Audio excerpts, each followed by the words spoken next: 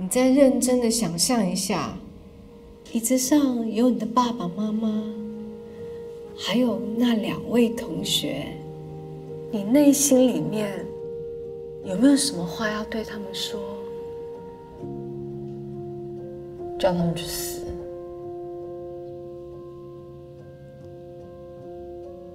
好，你认真的想象，椅子上这边是你的爸爸妈妈，去死，可以了吗？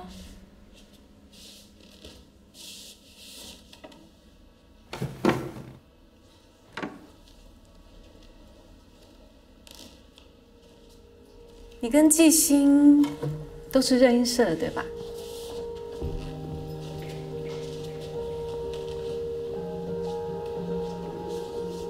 我听同学说，你突然抓狂，然后把同学的书包丢出去了。我也问了你们的社长詹明耀，他说不是你的错。张明耀，嗯，他说什么？他说你是被学生欺负，然后反击。我就说为什么同学要欺负他？他叫我来问你，你跟张明耀之间有什么吗？嗯，没有啊。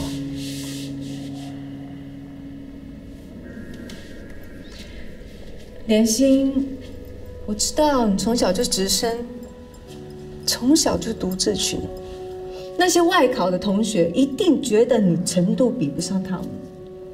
但是这群宝宝不是只有你一个哦，你有没有想过其他这群宝宝他们的心理，他们怎么样面对压力？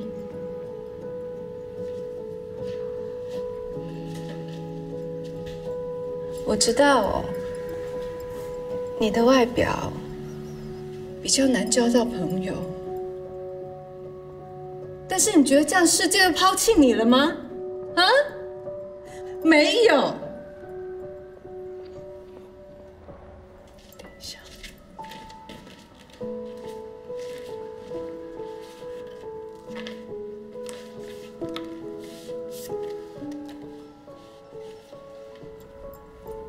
你不想要老师帮你，但是好歹你要帮帮你自己吧。嗯，有空去这边走走看看。